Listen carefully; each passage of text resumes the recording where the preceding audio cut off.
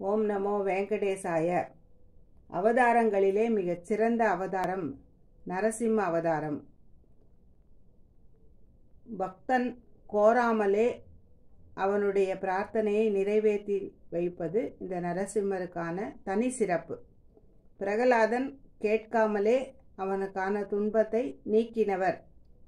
அந்த நீக்கின வேளை பிரதோஷ வேளை. அதனால் பிரதோஷ தினம் மிகவும் விசேஷம். இவருக்கான சிறந்த நட்சத்திரம் சுவாதி என்று இவரை வழிபட வேண்டியது.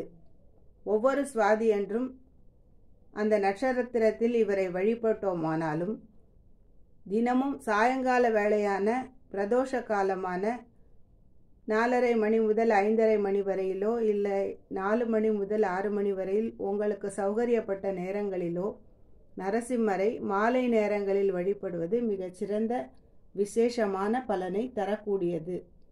இந்த பெருமாள் மட்டும்தான் எதையும் சாதிக்க நாளை என்பது இல்லாமல் நமது துயர் தெரிந்தவுடன் நம்முடைய வேண்டுதல்களை ஏற்று நமது மனம் உடல் இது சம்பந்தமான அனைத்து விதமான நோய்களையும் தீர்க்க வைக்கும் பெருமாளாக இருக்கின்றார்.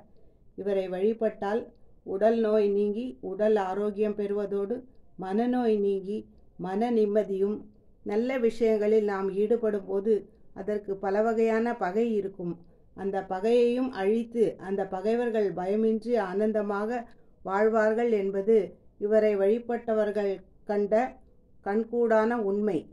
நாளை என்பதில்லா இந்த நரசிம்மரை திருவல்லிக்கேணியில் தெள்ளிய சிங்கராய் மேற்கு நோக்கி யோக நரசிம்ம கோலத்தில் அமர்ந்திருந்து நம்மை அழைத்து தரிசனம் கொடுக்க காத்திருக்கும் அவரது பிரம்மோற்சவம் இந்த மார்ச் மாதம் இரண்டாம் தேதியிலிருந்து பதினோராம் தேதி வரை காலையிலும் மாலையிலும் இரண்டு வேளையும் வீதி உலாவோடு நடைபெறுகின்றது.